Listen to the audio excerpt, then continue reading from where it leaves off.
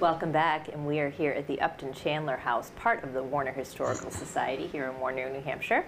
Joining me now is George Ingram Jr. George is starting a new group for writers called the Writing Garden. Yes. Great name. Thank you. So tell us a little bit about how this project got started. Um, well, I've been searching for a writing group for quite a while now. Um, I've gone to a few here and there, and they just don't seem to be what I'm looking for. They don't seem to develop the writer the way that I want to. So, figured I would run an ad and see what I get for, for people. So what if someone's interested in becoming a writer? They're definitely welcome to come to the group. And I think sometimes what happens is everybody's a writer, it's just that they sell themselves out of it. Um, I think everybody's a born writer, and that's we're able to write. Everybody can write. It just takes practice. Um, it takes. It's not just talent, but it takes practice. It takes practice to learn the art Sure. and to put the words in the right place. Like anything, and, and repetition, because we all have stories up there. exactly. Just have to get it from here mm-hmm. down to here Yep. or down to here.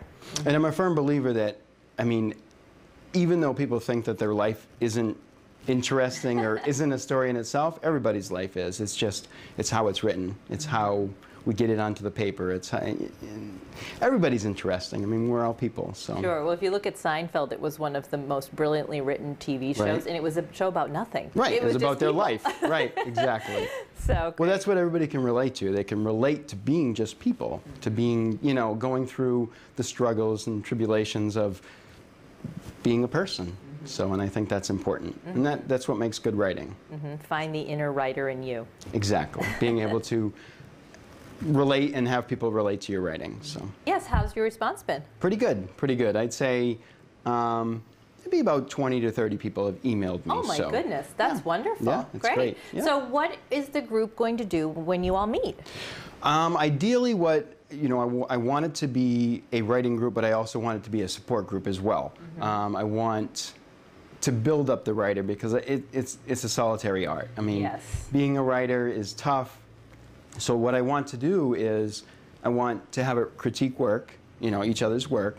Um, I also want to assign homework and have us work on the same idea so we can all see how you know, it, it transforms into something different for each person. Um, and yeah, I, I mean, I wanted to be a support group as well. And spanning all genres. So if you're a children's book author, Yes. you can come. If you're a murder mystery author, you can Yep. come. That's wonderful. It almost sounds like a mini course. I mean, if you're handing out homework and you're getting peer reviews, this is a wonderful. Don't scare them off. Now, tell us a little bit about George. Are you an author in your own right? I'm an author. Um, I have a novel. Well, the book is called The Waking Hour. Um, it's about this man, and he is suffering from a broken heart, and he found newfound love.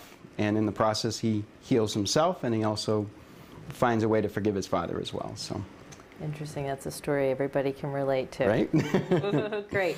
What's the best way um, for writers, people that want to be involved in this, maybe people that aren't writers and just want to try it? Mm-hmm. The best way for them to get in touch with you and, and see when, when upcoming meetings, et cetera. Um, they can go to the website, which is thewritinggarden.org, um, or they can email me at whimsical at tds.net. Okay. And that's whimsical with a Z.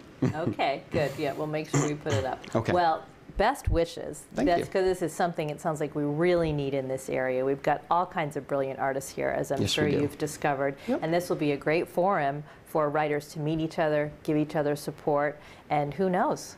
Our next Ernest Hemingway could be sitting amongst us right in now. the water, right? You. Great. Well, thanks for sharing your Okay. time with us, George. Best wishes. Thank you.